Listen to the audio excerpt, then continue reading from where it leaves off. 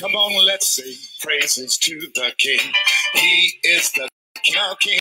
Sing praises to the King, for He's the King of Kings. Sing praises to the King. He is the King of Kings. Sing praises to the King, for He's. Let's give Him glory. Give Him glory. For He's the King of Kings. Give Him glory for he's the King of Kings. Give him glory, for he's the King of Kings. Give him glory. Now let's stay right there. Stay right there. Let's sing it again. Sing praises. Sing praises to the King. He is the King of Kings. Sing praises to the King, for he's the King of Kings. Sing praises to the King. He is the King of Kings.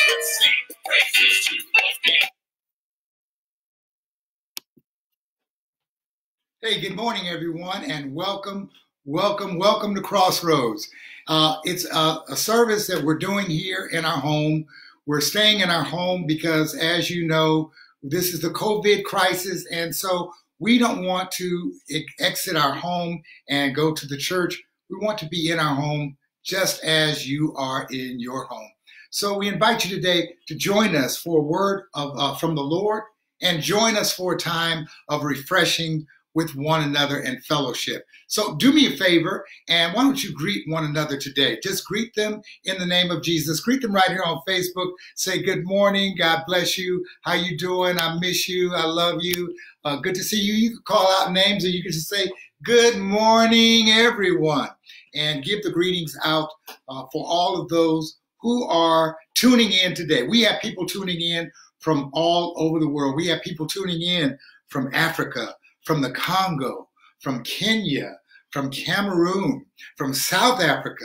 We even have people tuning in from Somaliland. We have people tuning in from everywhere, Ethiopia and South Sudan. We have people tuning in from the Bahamas. We got people tuning in in the West Indies, different islands. It's time for people to tune into the service. So please say hello to them and greet them with greetings of love and greetings of peace and greetings of, greetings of joy. You might not know them by name, hey, but we're all connected by the same blood. Speaking of which, I'm still excited. I mean, I am super excited. I'm still overjoyed and thrilled to know that the Word of God is going forward. Hey, let me give you some stats that I discovered this week. Prayer is at an all time high on Google searches. Yes, that's right. For the first time ever, prayer has exceeded every event in history Christmas, Easter, Mother's Day, uh, every holiday. Prayer is the highest Google search element of the decade. It's the highest ever. That means that God is doing some great work and prayer is being investigated. I'm so uh, I'm so inspired by the uh, the way that the word of the Lord is going forth. I mean, the way that the Lord, the way that the word of the Lord is going forth is tremendous. Uh, tuning in on Sundays, people are tuning in all through the week. I mean, it's incredible to see how the word of the Lord is going out. I watch several broadcasts. I even participate in several broadcasts because of this virtual world that we're living in right now. This is the Lord's doing, and it's marvelous in our eyes. Yet it's the Lord's doing. It's not our doing. We've been trying. We've been trying to preach it. Some of us have been trying to fuss it. Some of us have been trying to fake it. But hey, this is the Lord's doing, and it's marvelous in our eyes. And we can rejoice in knowing that God Himself has caused us to slow down and focus on Him and His lasting word. Yes, it's the Lord's doing, and it's marvelous in our eyes. While we're talking about prayer, hey, let's remember to pray for those who are in grief. Pray for the 204,000 people and maybe even more globally who are experiencing a grief during this time of the COVID crisis. That's right, over 204,000 people have died since COVID has come into our awareness. Uh, we have 3 million cases globally confirmed, and we need to be in prayer, for others who are suffering. You might not be suffering, but pray for those who are suffering. Uh, most of all, we want to pray for the 50,000 Americans, those in the U.S.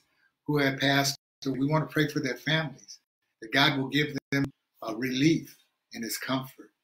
You know, it means something when your family members are passing away and you can sit by their side, you can watch them, you can hold them, you can speak to them.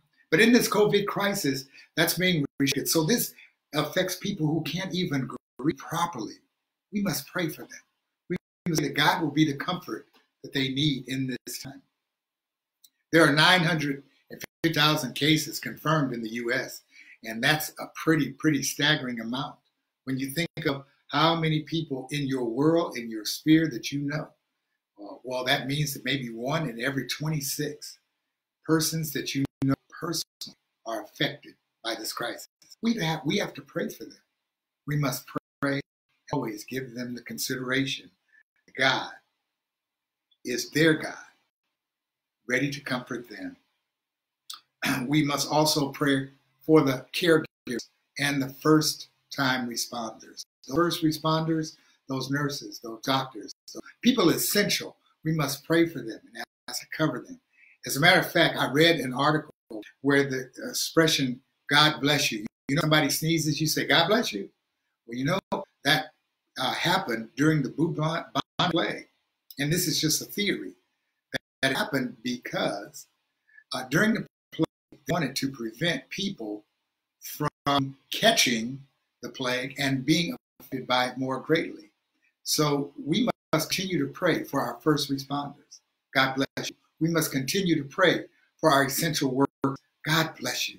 That God will keep you and God will prevent you from everything that's going on in this world right now. Hey, we want to encourage you to join us on Wednesday night Bible study too.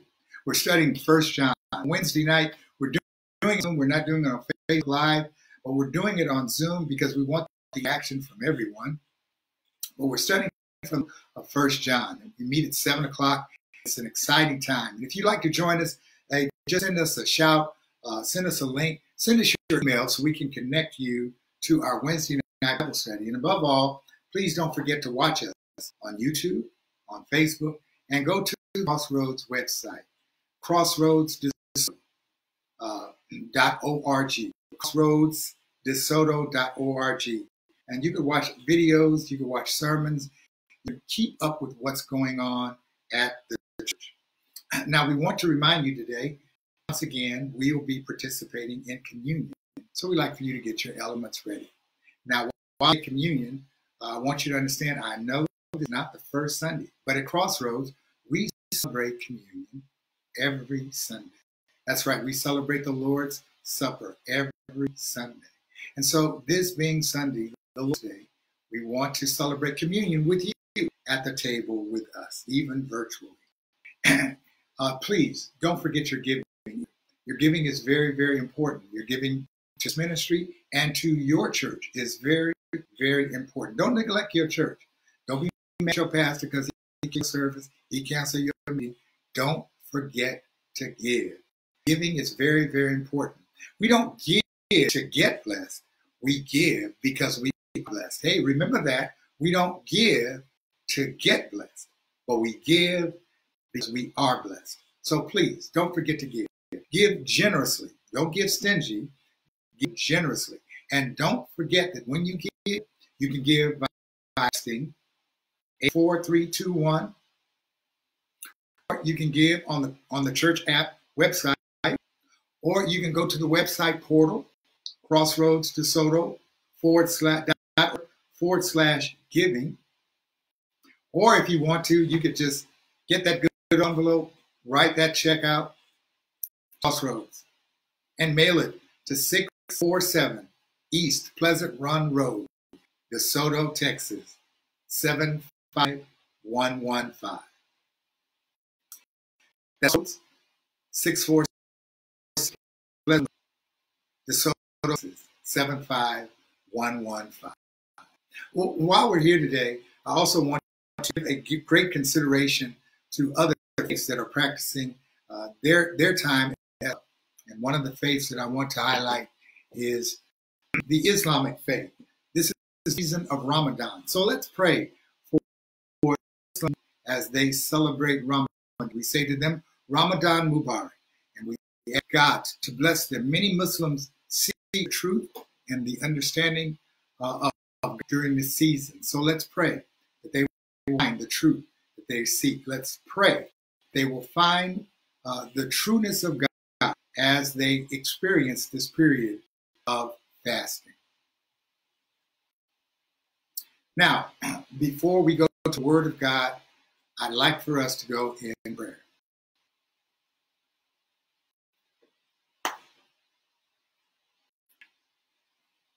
Please bow your heads and pray.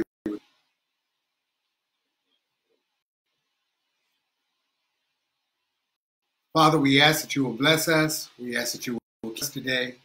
We ask that you will supersede our thoughts, that you will take control of us today. And that God, you will be merciful to us today. We pray, God, that as you bless, us, as you guide us, as you keep us, as you walk us, that you will be you will be the one to uh, to guard us and to lead us. Keep us pray in Jesus' name. Amen. Now, would you go with me to the Bible? We want to look at the word uh, from John, the Gospel of John, talking about the authority of the risen Lord. And as we're talking about the authority of the risen Lord, uh, I want to remind you this is the second installment of our series, the second installment of the series, uh, The Authority of the Risen Lord. Now, as we talk about this authority of the risen Lord, last week we talked about how the authority of the Lord, uh, the risen Lord, removes fear. Our circumstances seek to control us, but God removes the fear of those circumstances we talked about how it restores the joy, the joy of being in his presence. We talked about the authority of the risen Lord, how it renews our purpose. It gives us a new mission. It gives us a new direction. The authority of the risen Lord is what causes us to continue to serve him and to live for him in an everlasting love relationship. Today, we want to look at John chapter 20. John chapter 21. And as we look at John chapter 21, I want to read to you a very long pericope. It's verses 1 through 9. It's, it's a little long, but uh, if you just bear with me and read along with me. John chapter 21, verses 1 through 9. Afterward, Jesus appeared again to his disciples by the Sea of Galilee. It happened this way.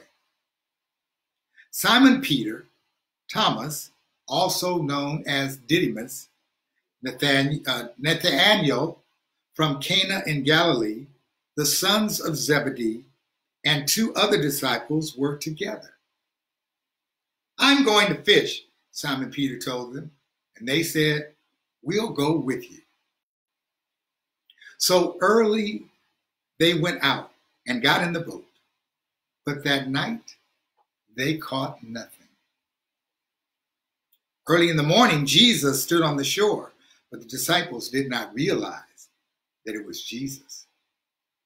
He called out to them, Friends, have you caught any fish? No, they answered. Jesus said, Throw your net on the right side of the boat, and you will find some. When they did, they were unable to haul the net in because of the large number of fish. Then the disciple whom Jesus loved said to Peter, It is the Lord. As soon as Simon heard him say that, It is the Lord, he wrapped his outer garment around him, for he had taken it off, and jumped into the water. The other disciples followed in the boat, towing the net full of fish for they were not far from the shore, about a hundred yards. When they landed, they saw a fire, burning coals, with fish on it and some bread. This morning, I want to talk about the authority of the risen Lord. and how it does these amazing things for us. How it counters us in times of conflict. Counters our conflict. How it actually changes our condition. And how it cultivates our continuance. So, would you go with me now and let's take a close look at this passage one more time? And I like to look at verses 1 through 3. In 1 through 3, you see the basic conflict. Conflict is that mental, internal struggle uh, that uh, that that comes from our opposing needs. It comes from our drives. It comes from uh, comes from our desires, from our wants, from our wishes. That's conflict. And and the Word of God counters our conflict. So we got a conflict that's opposing, but God's Word opposes what we're opposing. Isn't that amazing? Here we see that the angels had told the disciples to go to Galilee and to wait. To wait. He didn't give them a time limit. He just said, go and wait. Go and wait because he's going to appear to you. Go and wait until he shows up. Go and wait for your next direction.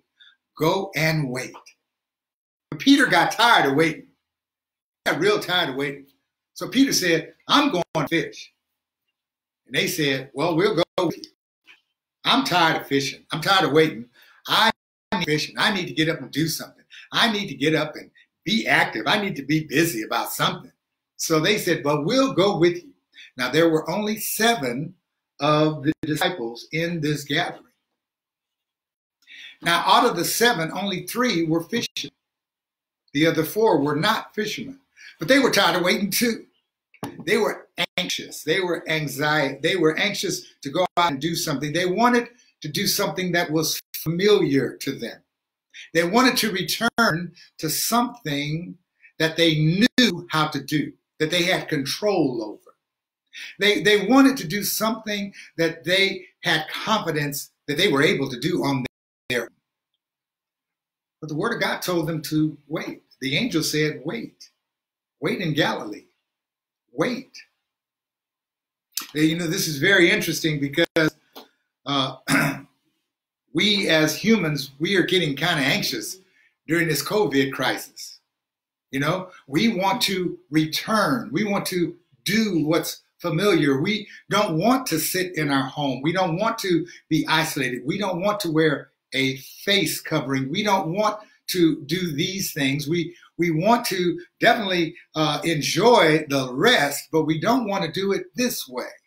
We want to do it our way. We want to be in control over. As I said before, this is the Lord's doing, and it's marvelous in our eyes. We don't know why and how all this came about, but this is what we do know that God is reaching and God is speaking and God is doing something up under the scenes that we can't see. He's working it out, and it's all for our favor as we watch God work this out, it gives us a little anxiety because we want to return to the normal. What is normal? I mean, what's normal about God's kingdom? Nothing that He does is normal.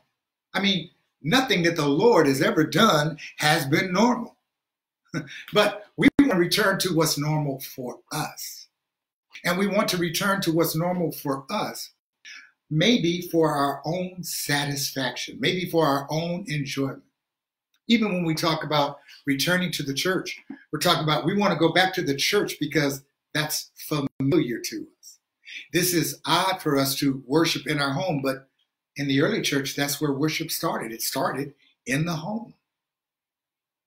Uh, we want to return to church so we can uh, perhaps uh, see our friends and greet one another, but we got friends and neighbors all around us that we haven't greeted. Perhaps we need to. We want to return to church for some reason, but God is telling us to wait. Wait until I get the word out. Wait until I get the harvest ready. Keep your focus on me because the harvest is plentiful, but the laborers are few. Can't you see how ripe the harvest is becoming? Yes, yes. So wait, wait. While we are being in conflict, God is pausing us, while God is halting us, He's building us and He's strengthening us. See, the authority of the Lord counters our conflict, and we must submit to His authority. Only when we submit to His authority do we have peace. We must submit to His authority. Uh, that brings us to our next section. Please look at verse 4 and read along with me to verse 6. Early in the morning, Jesus stood on the shore, but the disciples did not realize that it was Jesus. He called to them, Friends, haven't you any fish? And they answered, No. He said, Throw your net out on the right side of the boat and you will find some.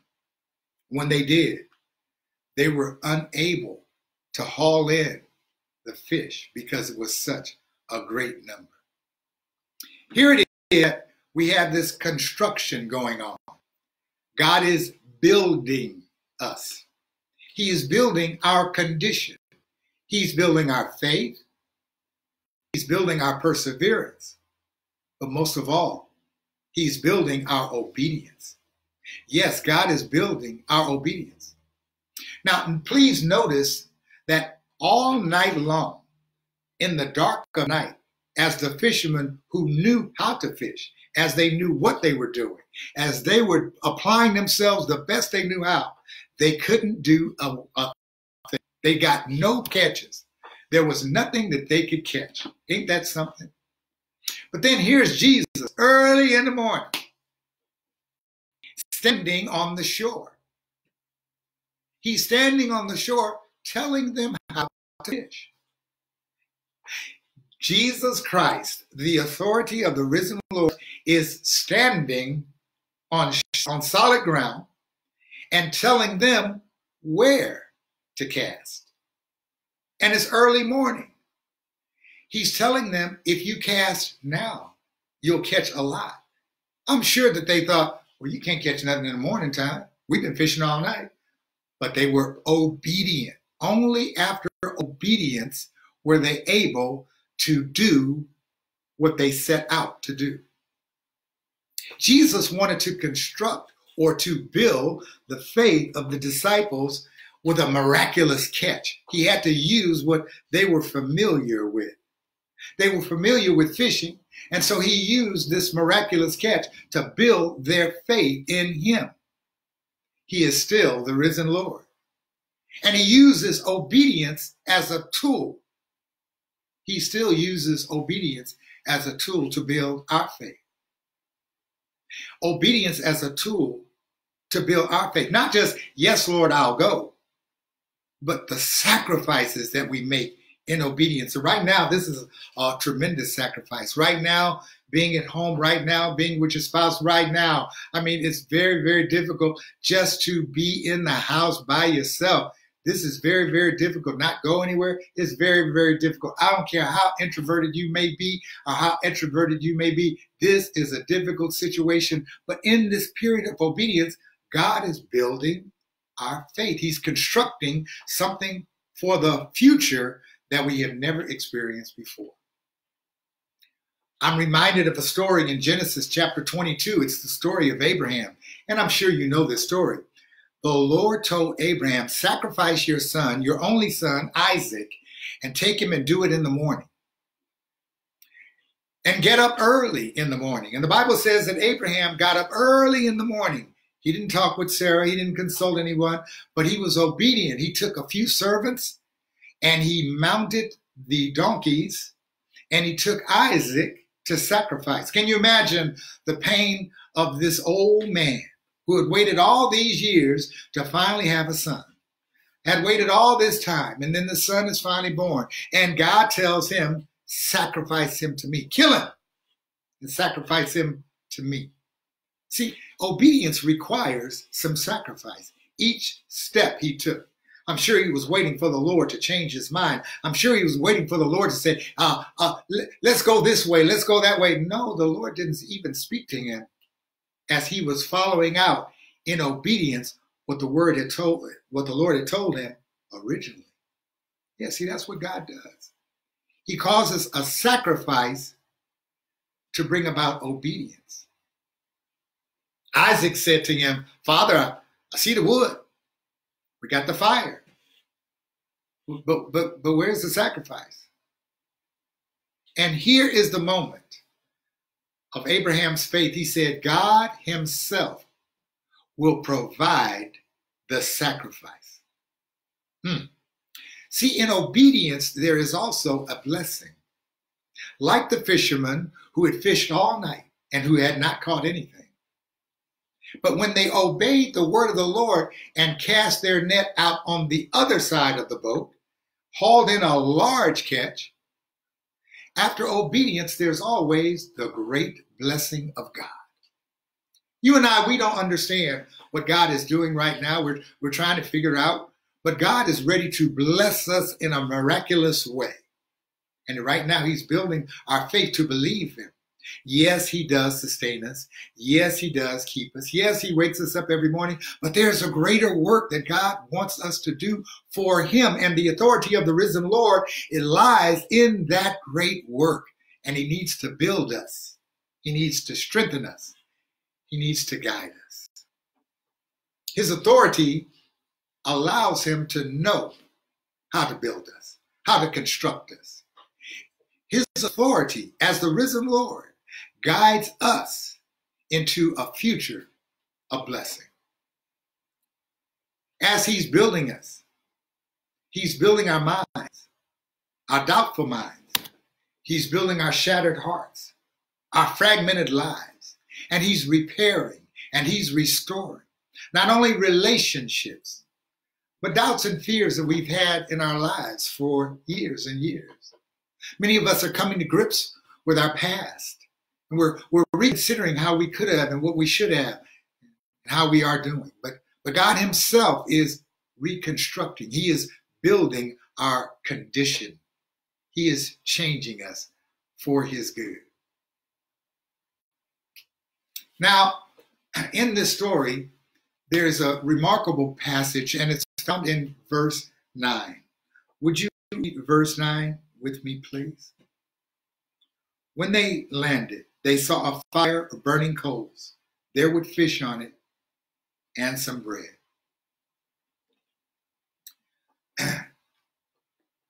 when you think of a fire, you think of fish and bread, you say it must be eating time. But here I'd like to say that what the authority of the risen Lord is doing is cultivating our continuance. Yes, God is cultivating, like preparing the soil, like building the land, like plowing, like turning over. He's digging us up. He's he's uprooting something in us. He's cultivating us, preparing us for another season of planting where we'll bring much fruit.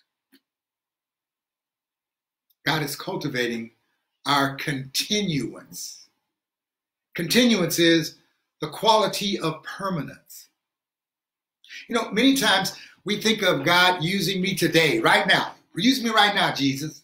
But God wants to use us for the long haul. He's concerned about you for the long haul. That's why he gave you everlasting life. God didn't just give you everlasting life so you could just live. God gave you everlasting life so that you have a permanence in relationship, permanence in faith, permanence in obedience with him. He has to cultivate this continuance in our life. I praise him for that. Now, these coals are very, very significant. Coals bring warmth. We know that. But look at who comes to the fire, who gets out of their boat first, who swims. It's Peter. Yes, it's Peter. Peter, the hothead. Peter, the spokesman. Peter, the one who couldn't wait to get up and do something, to do something that he knew how to do. Peter might have said, You know, I got to feed my family. I got to get out here and do something. I don't know what Peter was thinking about. But I do know this Peter was the one who came to the Lord first, and he saw the coals burning. And I could just imagine what was going through his mind. In your, in my mind, we approach a barbecue and we smell it. Mmm. We we feel the heat. Oh yeah. But in Peter's mind, he thought of failure.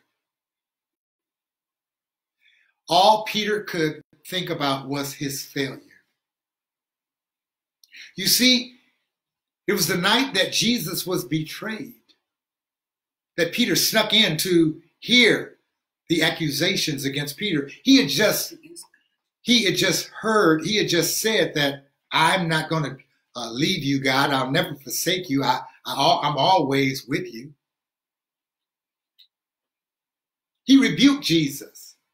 You're not going to die. I got your back.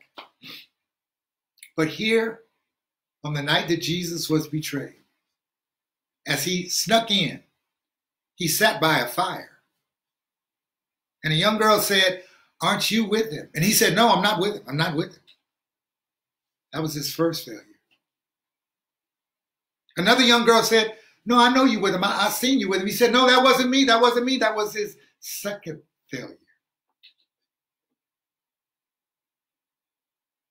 Peter told, Jesus had told Peter, before the rooster crows three times, you, you'll, you'll already have died me three times. And here it is, early in the morning, rooster is crowing, and Peter has already denied Jesus because when they came to him the third time and said, This is one of the ones who was with him, Peter not only denied him, but he began to curse and act ugly, act indignant. He failed Jesus. Sitting by the fire, he thought about his failure. You know, failure causes us to retreat from God. We back up from God.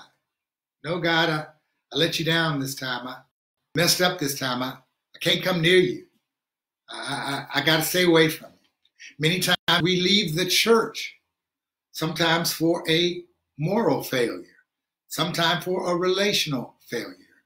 And, we say, because I failed, I have to stay away from God. Failure causes us to stay away from family. We've let them down. And so we walk out on our family. And failure causes us to avoid our friends. Uh, many times we uh, come into circumstances where our friends are so valuable and important to our life, but because of failure, we avoid them. Failure, failure, failure. The cold night that Peter denied Christ is now met with the warmth of the day, a fire with coals and fish on it, the warmth of a meal where Jesus is cultivating a continuance of Peter. Peter felt like, I can't serve you, Lord. I got to go back to fishing. I can't do this. I got to return back to what I know. And Jesus speaks to him and says, I love you. I chose you. I forgive you. Jesus cultivates our continuance in Him, letting us know that we can never, ever release ourselves from Him. But even in our failure, He is still with us. He still loves us. He still chose us he still forgives us. The authority of the risen Lord commands that we continue in ministry. We continue with his mission, not our desires. We continue with his purpose for his glory, not our own glory.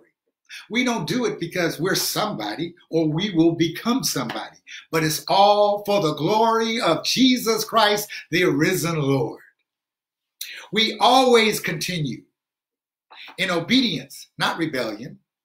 We follow him in obedience, not contrary. But we step by step, inch by inch, obey the Lord because he has built us, he has conditioned us, and he has cultivated us, and he has forgiven us. And he's given us the permission to continue where we have failed. As we continue, we continue in victory, never failure, never defeat. We continue in victory because the victory was won on Calvary. He won the victory. We can't win the victory. He won the victory on Calvary's cross for you and I.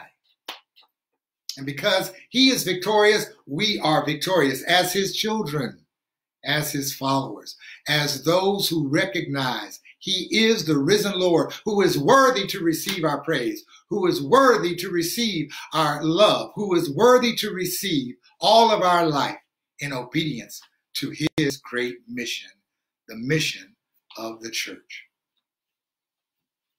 Perhaps you feel like you need to reconnect with the authority of God, of the risen Lord. Perhaps you feel like you have failed the Lord and you just need to stay away for a little while. Perhaps you felt like even in this period of, of confinement that you need uh, to, to, to repent of something. I don't know. But here's what I do know God is not mad with you, God is not angry with you. God isn't counting your sins against you. He's not holding this against you, and He's not ready to say, okay, you're out now. No, God's love is great for you. He wants you, and He wants to have a personal relationship with you. You know, I messed up big time in my life, but God has forgiven me. I know He'll do the same for you. I know that God, and all of His love and grace and mercy, He is so powerful, He is so wonderful that He is willing to not only send His Son to die, but raise Him up so that He has all authority to guide us, to cultivate us, to build us, and to counter us. He settles us down when we're anxious. He calms us. And he soothes us. He did all that for you and me. Great. Perhaps you do feel disconnected from the Lord. And perhaps you feel I, everything is okay, but would you just pray for me because I am getting a little anxious. And I do want to go out and do things my way. I'm not willing to wait on the Lord. We must wait on the Lord. I'm waiting on the Lord. I'm waiting on Jesus. I'm not waiting on the governor. I'm not waiting on the president. Those political leaders have a responsibility, and I pray for them daily. But I'm trusting that God will guide us. I'm trusting that God will lead us. And as they give direction, I'm willing to follow as much as possible, but I must use the wisdom and the divine knowledge of God before executing anything. I encourage you to do the same thing. We, as people of God, must be obedient and in step with God as we wait on Him. Once again, this is the Lord's doing, and it's marvelous in our eyes. Well, I'm going to ask you to pray with me now. I'm going to ask for you to pray with me for God to give you the ability to wait on Him. But most of all, I'm going to ask for those of you who are watching right now, who are tuning into us, who might not have a relationship with Jesus. I'm going to ask if you would pray and if you would ask Christ to allow you to place your trust in Him, that you would believe that He came, that he lived and that he died for your sins that you might be re- you might be renewed in relationship with God our Father forever and ever. I'm going to ask you to enter a state of grace. We can't earn it. Only God can do it.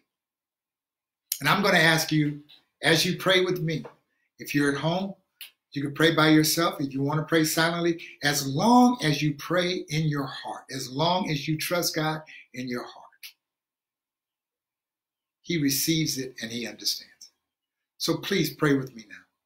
Heavenly Father, we come now thanking you for this period of understanding as the risen Lord that you counter our conflict. That God, as you calm us in this period of waiting, that you will have greater glory because you change our condition. You construct us, you build it. And God, you have con- you have cultivated this continuance. You've told us that yes, you, you you you might have not have done everything that you thought was right, but God, you have forgiven. So God, we pray that you will give us peace and calm as we wait on you. God, we ask for others who may not know you, who are sitting here and admitting, I don't have a relationship with Jesus Christ. I have not placed my trust in him. We pray that you will allow them the boldness to say, Lord, I'm a sinner. I have failed you. But now, God, I come to you. I believe in Jesus Christ. I believe that he came, he died, and he rose again, and that he is the Lord. I pray he will enter my heart and be my Lord, and that you will keep me and grant me the grace of eternal life. I ask this in Jesus' name. Amen. Thank you so much, friends, for joining me today. We're going to have communion in a moment, but before we go to communion, I do encourage you just one last time. One last time. As we're going out and as we're sending the word forward, we need your contribution, so please give. And as you give to the Lord, we pray that you will be encouraged through your giving, that you will continue to serve and you will serve with purpose, the purpose under the authority of the risen Lord. As we go to communion now, we have bread and we have juice here. You might have a cracker, you, you might have goldfish, you might have a piece of toast, whatever you have. Let's share it together. I'm going to pray for this period now and ask for you to join me in prayer. Father, bless our elements and bless us as we come to communion. We commune with you, we commune with one another. And as we do, bless us and keep us. In Jesus' name, amen. I'm going to ask my wife to join me now. How you doing, baby? Good. How are you? I'm doing good. and as she joins me today for communion, we're so honored uh, to join this time with you all in your home. We have here bread and we have wafers here. And as we have these wafers, we take these wafers, remembering what Jesus said This is my body, broken for you. Take it and eat it. Let's eat together.